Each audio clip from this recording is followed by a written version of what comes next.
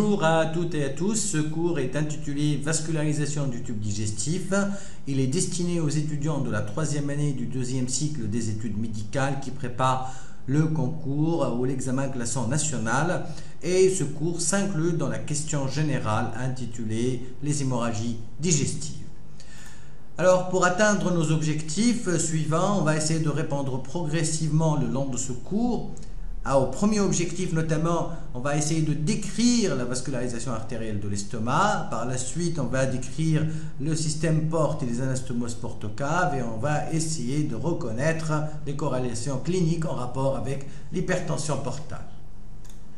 Alors tout d'abord, il faut savoir que la horte abdominale vascularise par trois branches artérielles qui naissent de sa face antérieure le tube digestif notamment le transiliaque qui naît en regard de T12 et qui vascularise l'étage sus-mésocolique, en l'occurrence le foie, l'estomac, l'œsophage, l'abdominal, la rate, une partie du duodénopancréas. L'artère mésentérique supérieure qui naît en regard de L1 et qui vascularise la, totalité de l'intestin grêle et le colon droit chirurgical et crée une zone d'anastomose pour la vascularisation du duodénopancréas en rapport avec les arcades du pancréatique et puis l'artère mésentérique inférieure qui naît en regard de L3 L4 et qui vascularise le côlon gauche et le rectum et crée un réseau anastomotique avec la mésentérique supérieure représentée par l'arcade de Riolan. Alors on va commencer notamment par le transiliaque qui est une branche viscérale de la horte abdominale qui naît en regard de T12 et donne trois branches terminales, la gastrique gauche qui est la plus grêle en et qui se dirige vers la petite courbure, l'artère splénique qui passe sur la face postérieure de l'estomac et qui est destinée à la rate principalement, et l'hépatique commune qui est donc dirigée vers le foie mais qui va se diviser en deux branches terminales qu'on verra par la suite. L'artère gastrique gauche d'abord, elle naît principalement du transcéliaque, c'est la plus grêle des trois branches terminales du transcéliaque. Elle décrit trois segments, un segment pariétal qui croise le pilier gauche du diaphragme, un segment intraligamentaire dans le petit omentum concave en bas, et puis un troisième segment viscéral le long de la petite courbure, intimement lié à la petite courbure, et qui se termine par deux branches terminales, une antérieure et l'autre postérieure, qui est la plus importante et qui va s'anastomoser avec la branche postérieure de la gastrique droite pour former par la suite le cercle de la petite courbure. Alors cette artère gastrique gauche va donner des branches collatérales. Je commencerai par l'artère hépatique gauche, qui est inconstante certes, mais quand elle existe, elle vascularise une partie plus ou moins importante du foie, notamment les voies biliaires, elle vascularise un segment ou un lobe du, lobe gauche ou même le foie gauche et elle peut même être une artère hépatique gauche foie total, d'où la nécessité de la connaître. Alors, sinon, l'artère gastrique gauche peut donner ou donne des artères œsocardiotuberositaires dont le mode de division est variable et qui sont destinées à la vascularisation de l'œsophage abdominal, du cardia et de la grosse tubérosité. Au total, l'artère gastrique gauche, c'est l'artère de la petite courbure gastrique, mais aussi de l'œsophage abdominal, du petit épiplan, plus ou moins le foie d'une façon inconstante. La deuxième branche terminale du transcéliaque, c'est l'artère hépatique commune. Cette artère hépatique commune se dirige vers le bord supérieur de l'isthme pancréatique, se divise en deux branches terminales, la gastro-duodénale et l'hépatique propre. Voici l'hépatique propre et voici à ce niveau la gastro-duodénale qui sont deux branches terminales de l'hépatique commune. La gastroduodénale, maintenant, passe sur la face postérieure du D1 à la portion fixe mobile, à la jonction. Elle donne des branches collatérales, rétro- et infradiodénales, et une artère pancréatico-duodénale supérieure et postérieure qui est collatérale et qui a un rapport important avec le cholédoque. Sinon, elle se termine par deux branches terminales, la gastro-omontale droite avec sa branche omontale et sa branche gastrique. La branche gastrique va s'anastomoser avec la branche gastrique de la gastro-omontale gauche pour former le cercle de la grande courbure et les deux branches omontales droite et gauche s'anastomosent pour former l'arcade de Barkov du grand épiplan. La deuxième branche terminale, c'est l'artère pancréatico-duodénale supérieure et antérieure qui rentre dans la formation des arcades duodéno-pancréatiques en s'anastomosant avec une artère pancréatico-duodénale inférieure, branche de la mésentérique supérieure, d'où le caractère anastomotique des arcades duodéno-pancréatiques. Regardez sur cette vue postérieure d'un duodénum décollé le rapport de la gastro-duodénale avec le cholédoque et avec la gastro, la pancréatico-duodénale supérieure et postérieure. C'est pour cela que les ulcères hum, hémorragiques du D1, de la face postérieure du duodénum, peuvent se solder par donc une érosion de ces deux artères. Et lors du traitement chirurgical, si on a besoin, il faut éviter, lors de la ligature de l'artère, de ligaturer accidentellement le cholédoque.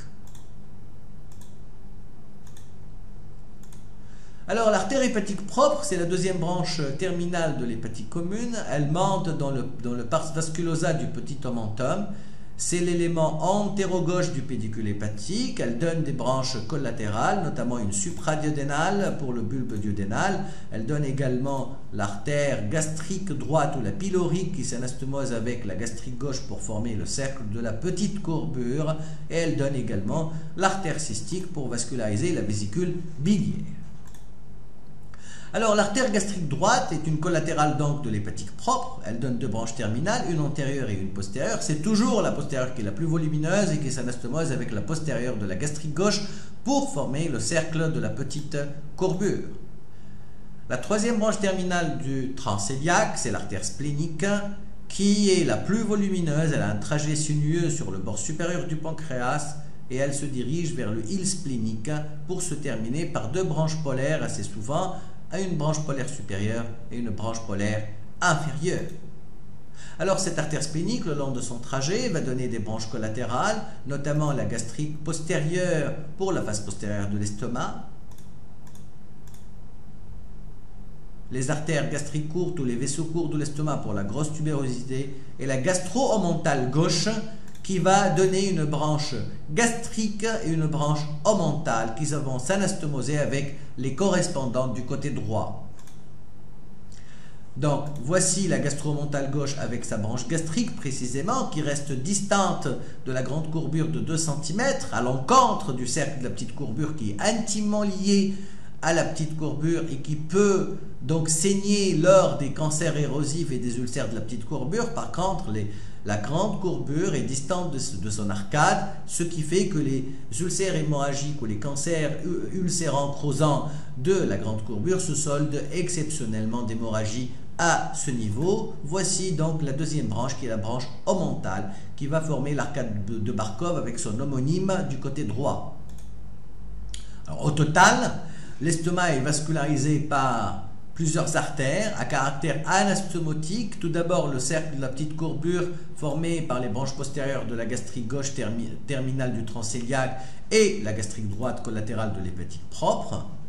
Le cercle de la grande courbure formé par la branche gastrique de la gastro-omentale gauche collatérale de la splénique ou de la polaire inférieure avec la branche gastrique de la gastro-omentale droite qui est terminale à ce niveau de la gastro-duodénale et qui forme donc le cercle de la grande courbure, à cela on va ajouter les vaisseaux courts de l'estomac, branche de la splénique, la gastrique postérieure, branche de la splénique également, et les artères œsocardiotubérositaires, branche de la gastrique gauche. Il faut remarquer la richesse de la vascularisation de cet organe. Alors, on va passer au, système porte-cave. On va décrire le système porte et puis aux anastomoses porte-cave et les corrélations cliniques. Alors le système porte, par définition, c'est la confluence des veines digestives. Il est formé par la confluence de la veine splénique, la mésentérique supérieure et la mésentérique inférieure qui aboutissent à la formation de la veine porte qui fait partie du pédicule hépatique. Alors la veine splénique draine la rate, l'estomac et le pancréas.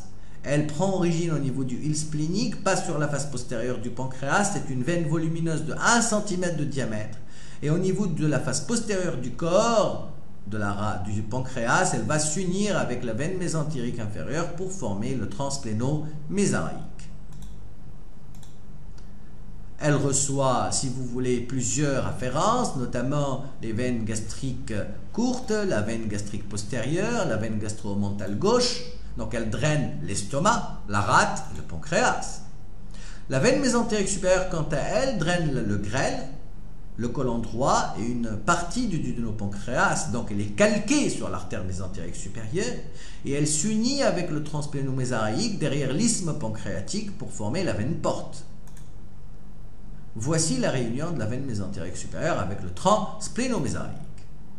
Alors, cette veine mésentérique supérieure reçoit des afférences du grêle, du côlon droit, mais aussi une spécificité qui s'appelle le tronc gastrocolique de Henle. Alors, ce tronc gastrocolique, c'est la réunion de la veine colique supérieure droite, de la gastro-mentale droite, de la pancréatico-duodénale supérieure et antérieure et de la colique supérieure droite, les trois forment un tronc commun qui se jette dans la veine mésentérique supérieure. Ce tronc est dangereux, il faut faire attention lors des décollements du côlon droit, lors des colectomies droites, quand on tracte sur l'angle colique droit, on va tracter sur ce tronc de lait, il faut éviter de l'arracher parce qu'une plaie de ce tronc gastrocolique de lait est une plaie latérale du système porte qu'il faut savoir contrôler rapidement, il faut éviter d'ailleurs de la créer.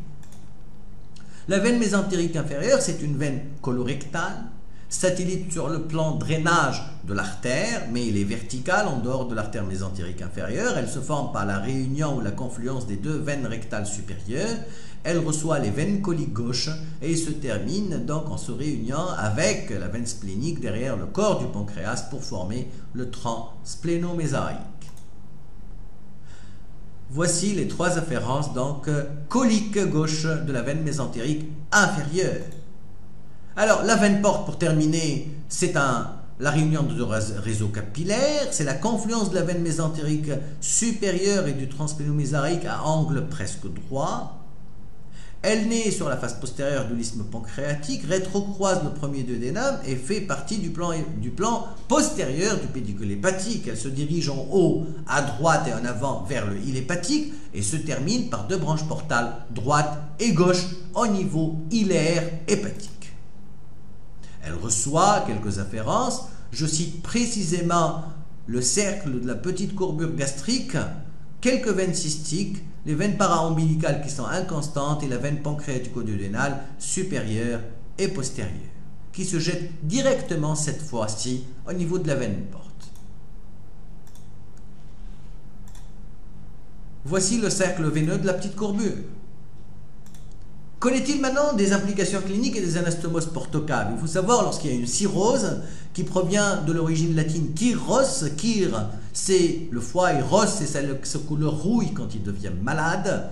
Euh, les anastomoses, on peut avoir des anastomoses suivantes, des anastomoses œsophagiennes au niveau du cardia, parce que à ce niveau, l'œsophage est drainé en même temps par les veines cardiotubérositaires du système porte, mais aussi par les veines œsophagiennes et phréniques du système cave. Lorsqu'il y a un obstacle, il y a une augmentation du flux hépatofuge du foie, ce qui fait un retour à contresens du sang portal qui va augmenter la pression à ce niveau et puis ça va donner donc des, varices œsophagiennes qui peuvent saigner.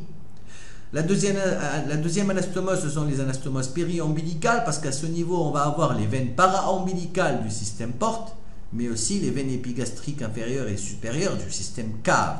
Et lorsqu'il y a une hypertension portale avec un flux hépatofuge, il va y avoir une circulation collatérale périombilicale. Au niveau du foie, il peut y avoir une reperméabilisation du canal d'Arancius et un champ intrahépatique entre la veine porte et la veine cave, ce qui va créer une insuffisance hépatique par shunt hépatique. Le péritoine pariétal, quant à lui, est drainé par le système cave, alors que le péritoine viscéral est drainé par le système porte. Et lorsqu'il y a une augmentation de la pression des veines portales du péritoine, on va avoir une circulation péritonéale dangereuse, mais aussi une filtration par augmentation de la pression euh, osmotique euh, euh, de ces veines, ce qui va créer une acide, une impossibilité de résorber cet acide par le système cave. La cinquième anastomose, c'est l'anastomose rectale entre le réseau des veines rectales supérieures qui appartient au système porte et le réseau rectal moyen et inférieur qui se draine vers la veine iliaque interne, donc système cave. Et lorsqu'il y a une augmentation du flux hépatophuge du foie, il va y avoir une turgescence des veines rectales supérieures, ce qui va créer les hémorroïdes internes qui peuvent elles aussi saigner et donner des rectoragies. Voilà, on arrive à bout de notre cours. Je vous remercie pour votre attention et à la prochaine. Au revoir.